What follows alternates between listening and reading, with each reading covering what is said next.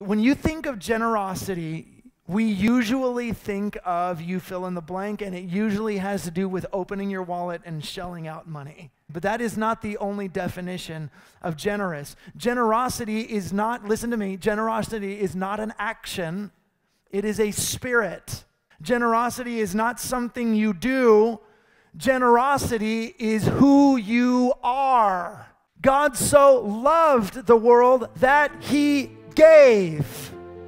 How about the generosity of God's Spirit? That while we were yet sinners, Jesus died for us. While we were while we were his enemies, while we were isolated in our own small world of the dirtiness of our sin, while while there was nothing on the outside that looked like it was worth saving, God says, I so loved that for you I will still so give.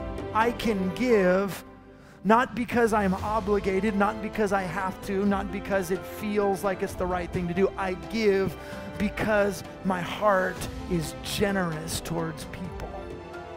Love your enemies, do good to them, lend to them without expecting to be repaid. Then your reward from heaven will be very great. And you will be truly acting as children of the Most High.